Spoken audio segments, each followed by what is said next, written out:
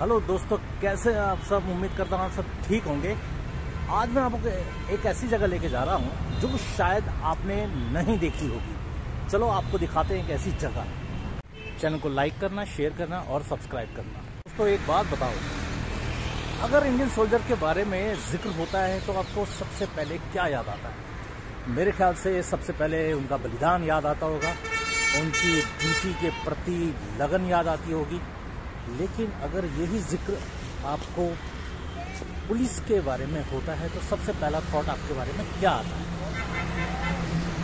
मैं जानता हूँ क्या आता होगा, लेकिन आज हम इस परसेप्शन को बड़े नज़दीक से देखेंगे और आपको दिखाएँगे एक ऐसा म्यूज़ियम जो सिर्फ़ पुलिस वालों के लिए बना है। दोस्तों, क्या आप बता सकते हैं कि ऐसा परसेप्शन क्यों है कि अगर हम सेना की बात करें तो एक सिक्योरिटी की भावना हमारे दिल में आती है। वही अगर बात हम पुलिस की बात करें तो क्यों ऐसा लगता है कि हम पुलिस के पास जाते वक्त सिक्योर नहीं? कमेंट करके बताना कि इसके पीछे राज क्या है। लेकिन दोस्तों मेरा मानना ये है कि सेना में जाना मुश्किल है तो पुलिस फोर्स में जाना भी बहुत मुश्किल है। तो इतना आसान नहीं है पुलिस फोर्स में भी आना लेकिन उस कॉन्सेप्ट को हम क्यों नहीं बदल पा रहे हैं? पूरे ही इंडिया में पुलिस को लेके इतनी उदासीनता क्यों? ये बात भी सही है कि कुछ पुलिस डिपार्टमेंट में ऐसे लोग होते हैं जो कहते हैं ना कि एक मछली पूरे तालाब को गंदा करती है, जिसकी वजह से ये सब कॉन्सेप्ट जो पुलिस के खिलाफ बना है, वो बदल नहीं रहा। लेकिन शायद इस मेमोरियल को देखने के बाद पुलिस के प्रति जो आपकी भावना है, वो बदले। और आप सही से पुलिस को समझने की कोशिश करने लगे। इस पुलिस मेमोरियल में ना केवल दिल्ली के पुलिस डिपार्टमेंट के बारे में बताया गया है, इसमें आपको हिंदुस्तान के हर स्टेट की पुलिस के बारे में जानकारी मिलेगी। तो प्लीज़ बने रहें, और अगर ये ब्लॉग आपको पसंद आए तो प्लीज़ मेरे चैनल को लाइक करना, शेयर करना और सब्सक्राइब करना। तो आपको ये तो मानना ही पड़ेगा कि यदि आपको कोई दिक्कत होती है या कोई आपको सता रहा है तो यही पुलिस आपके काम आती है और अदालतें काम आती हैं। तो हम मानते हैं कि पुलिस में कुछ कमजोरियाँ हैं, लेकिन बहुत सारी ताकत भी है। तो आज हम उसी ताकत को देखेंगे इनके मेमोरियल में और उनके त्याग को। बता दूँ, ये चाणक्यपुरी थाने के पास आपको मिलेगा। और अगर आप यहाँ आ रहे हैं तो आप नेहरू प्लेनेटेरियम भी देख सकते हैं। और साथ ही साथ प्रधानमंत्री संग्रहालय भी। तो आप आएँ तो बच्चों को ज़रूर लेकर आएँ, आप बहुत कुछ देख पाएँगे।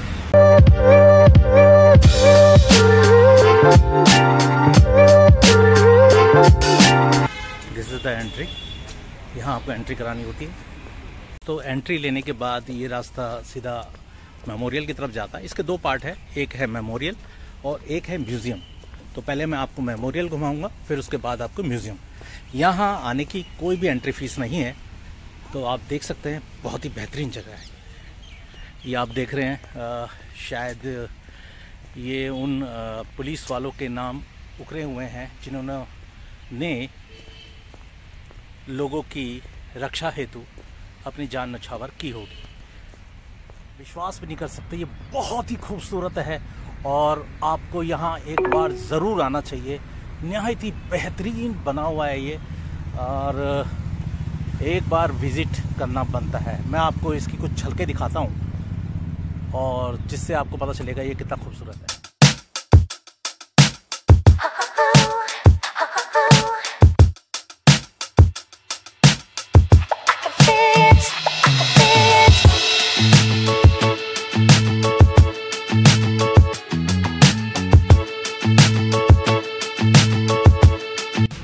ये देख रहे हैं, ये ही वो मेमोरियल है जो दिल्ली पुलिस के जवानों के लिए बनाया गया है। बहुत ही बेहतरीन आप ये सारा का सारा स्पेस देखेंगे आप। इतनी खूबसूरती से बनाया गया है कि आप देख के हैरान हो जाएँगे कि ये पुलिस डिपार्टमेंट के लिए इतनी खूबसूरत कोई जगह बनाने का सोच भी सकता है। बेहतरीन बेहतरीन। आपको यहाँ ज़रूर आना चाहिए। मैं आपको नज़दीक से दिखाता हूँ इस मेमोरियल को। बहुत अच्छा है ये।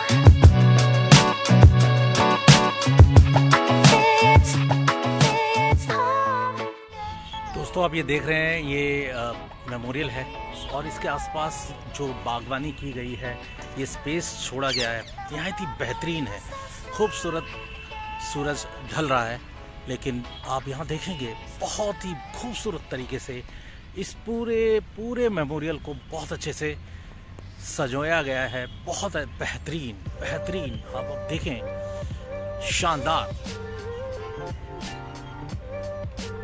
ऐसा मेमोरियल पुलिस के लिए मैंने कहीं नहीं सोचा था कि ऐसा हो भी सकता है। बहुत ही बेहतरीन है।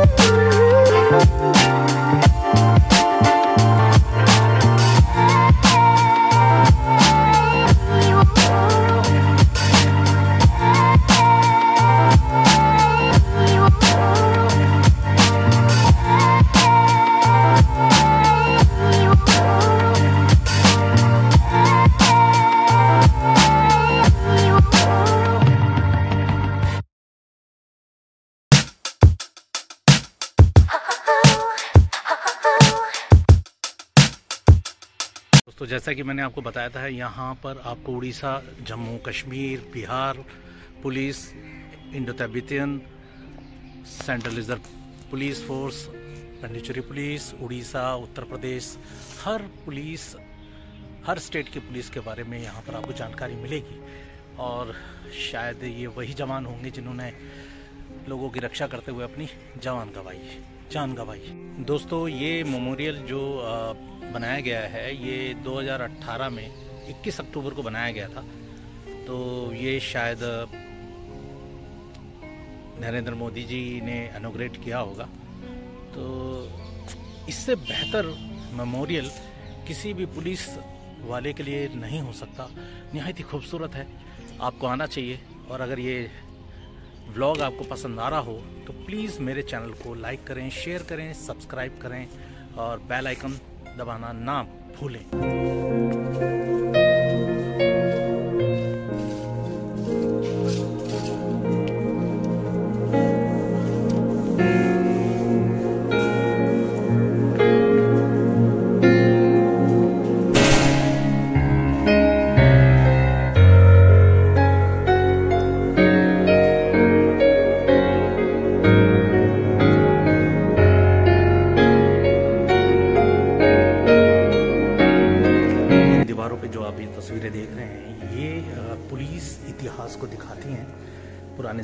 से लेकर आधुनिक पुलिस किस तरीके से डेवलप हुई, किस तरीके से उसने अपने आप को आगे बढ़ाया, ये आप देख सकते हैं।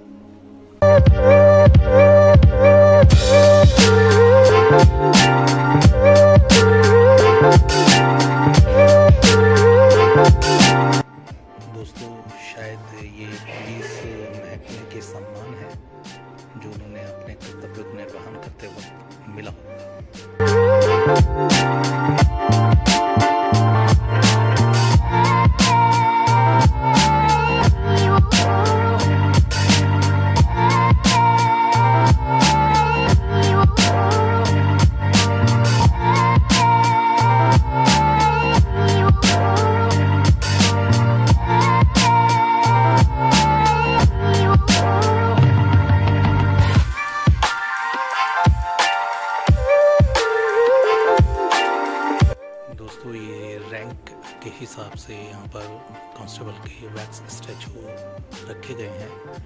आप देख सकते हैं यहाँ डायरेक्टर इंटेलिजेंस ब्यूरो, फिर उसके बाद डायरेक्टर जनरल ऑफ़ पुलिस और उसी तरह से inspector general of police, deputy inspector general police, SSP, deputy superintendent of police inspector of police ये रैंक्स हैं ये इनके। Sub inspector SI assistant sub inspector ये रैंक्स हैं। और स्टार्स ये हेड कांस्टेबल हैं, ये कांस्टेबल हैं। आप देख सकते हैं, ये तमगे और स्टार से आप पता लगा सकते हैं कि किसका क्या रैंक है।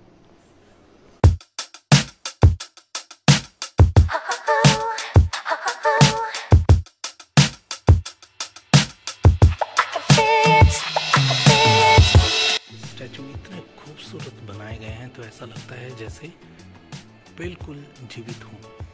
देख सकते हैं नज़दीक से मैं आपको दिखाता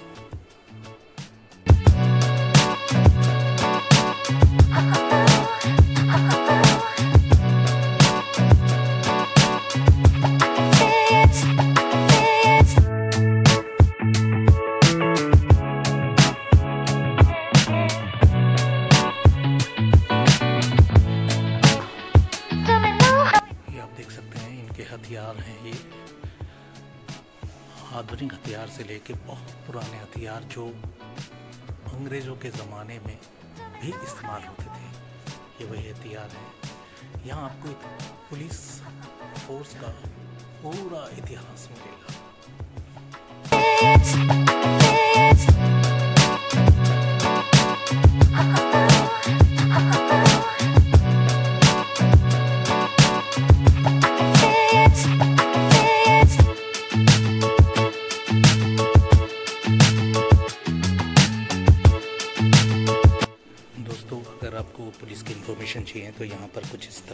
के कंप्यूटर्स रखे हुए हैं जिसको आप टच करके आप उनके बारे में बहुत अच्छे से जान सकते हैं।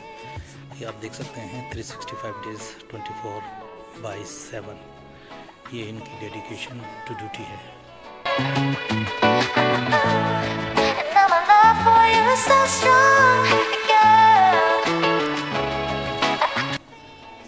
दोस्तों आप ये देख सकते हैं अलग अलग फोर्सेस जो पुलिस फोर्स के अंदर आती हैं, ये सभी, ये वो रैंक्स हैं, ये वो डिपार्टमेंट्स हैं। जैसे आप ये देख सकते हैं कि बॉडी सिक्योरिटी फोर्स हो गया इंडो तिब्बतन बॉर्डर पुलिस हो गया, शस्त्र सीमा बल हो गए, ये सब उसी में ही आते हैं। यहाँ आपको बहुत अच्छी जानकारी मिल सकती है और पुलिस के प्रति जो आपकी भावना है, उसे बदलने में बहुत हेल्प करेगी। आप ये देख सकते हैं। सेंट्रल पुलिस ऑर्गेनाइजेशन के अंदर ये सारे डिपार्टमेंट आते हैं। दोस्तों, एक चीज़ और बता दूँ, यहाँ पर आपको ना फ़ोटो खींचने की मनाही है, ना आप वीडियो बनाने से आपको कोई रोकेगा। बहुत ही खूबसूरत है ये, आप देखें, बिल्कुल स्टैचू ऐसे लगते हैं जैसे बिल्कुल जीवित स्टैचू है। ये आप देखें, जैसे ये पुलिस फोर्स जीवित हैं और यहाँ खड़े हैं। देख सकते हैं आप इस तरह के यहाँ पर आप स्पीकर्स देख सकते हैं, आप यहाँ पर, आप इस तरह के ईयरफोन लगा के भी आप यहाँ डिटेल्स ले सकते हैं। सब डिजिटल है, यहाँ देखेंगे आप, बहुत ही बेहतरीन तरीके से बनाया गया है। आपको यहाँ आना चाहिए, बहुत अच्छी जगह है ये। ये आप देखें। बिल्कुल ऐसा लगता है ये वैक्स म्यूज़ियम की ओरिजिनल बने हुए हैं। ये इनके डेडिकेशन के बारे में बताती है। कई बार हम कंफ्यूज हो जाते हैं कि जो पुलिस फोर्स है, सिर्फ़ थानों में होती है। आप देख सकते हैं बॉर्डर पे भी पुलिस फोर्स मिलती है। तो यहाँ आके आपको बहुत कुछ सीखने को भी मिलेगा। आप अपने बच्चों को ज़रूर लेकर आएँ। आप तो आएँ, बच्चों को भी लेकर आएँ। इस तरह की बेहतरीन ट्रेनिंग इनको दी जाती है। ये आप देख सकते हैं।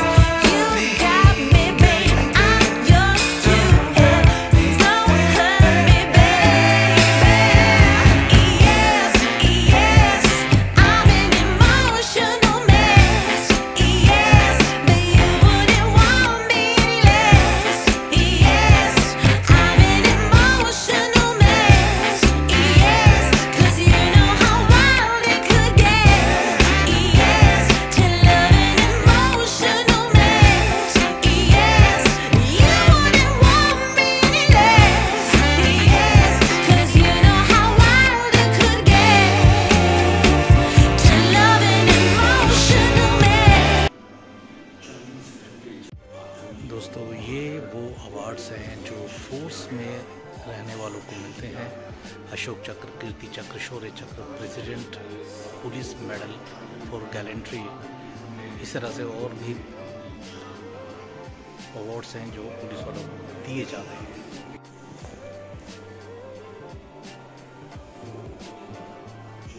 ये वो तस्वीरें हैं जहाँ पुलिस वालों ने केदारनाथ में लोगों की मदद की और काफ़ी जानें बचाई।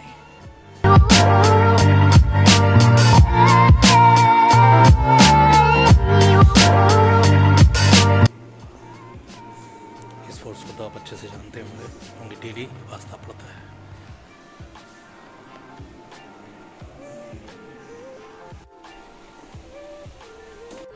दोस्तों, अगर ये वीडियो आपको पसंद आई तो प्लीज़ मेरे चैनल को लाइक करें, शेयर करें, सब्सक्राइब करें, और शेयर करना मत भूलें, क्योंकि ऐसे म्यूज़ियम को देखना सबके लिए बहुत ज़रूरी है, तभी पुलिस और आम जनता के बीच में दूरी कम होगी।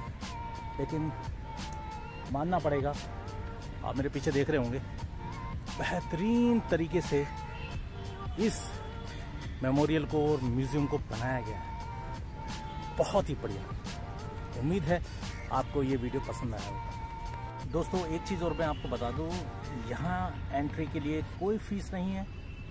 ना आपको यहाँ पर किसी भी तरह की मनाही है। मतलब आप यहाँ वीडियो भी खींच सक, बना सकते हैं और फ़ोटो भी खींच सकते हैं।